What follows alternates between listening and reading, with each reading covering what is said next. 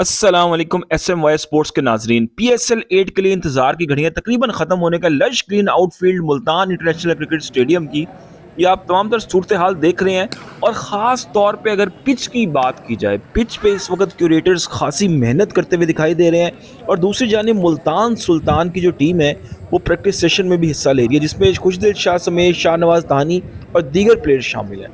क्योंकि half squad अभी पहुँचा है आज और हाफ़ स्कॉड ने आना अगर आप ये की तमाम अपडेट्स देखना चाहते हैं तो हमारे चैनल को सब्सक्राइब ज़रूर कर लें वीडियो को लाइक ज़रूर कर लें।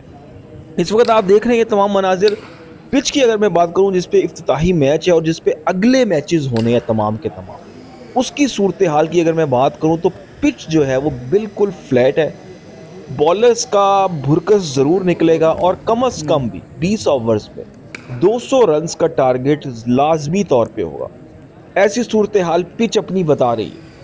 ओवरऑल अगर बात की जाए आउटफील्ड की, जो आप इस वक्त देख रहे हैं लश ग्रीन किस्म की आउटफील्ड है और बहुत ही फास्ट आउटफील्ड बाउंड्रीज जो है वो 60 मीटर से लेके 50 मीटर तक तकरीबन रखी जाएँगी। तमाम एटमॉस्फेयर जो है मुल्तान इंटरनेशनल क्रिकेट स्टेडियम का, वो बहुत ही ज़बरदस्त पच्चीस हज़ार से लेकर तीस हज़ार तक के तमाशाई की जो गुंजाइश वाला ये स्टेडियम है पाकिस्तान का, दूसरा सबसे बड़ा स्टेडियम है ये तमाशाइयों की गुंजाइश के हवाले से पहले नंबर पर इस हवाले से कराची आता है और दूसरे नंबर पर मुल्तान क्रिकेट स्टेडियम आता है।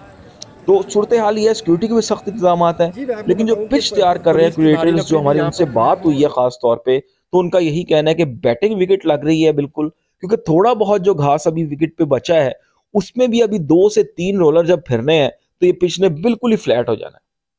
तो जो भी शायकीन आ रहे हैं प्लानिंग कर रहे हैं, वो पीएसएल के मैचेस देखेंगे एक स्टेडियम में आके तो उनको बहुत ही ज़्यादा छक्कों और चौकों की बारिश देखने को मिलेगी।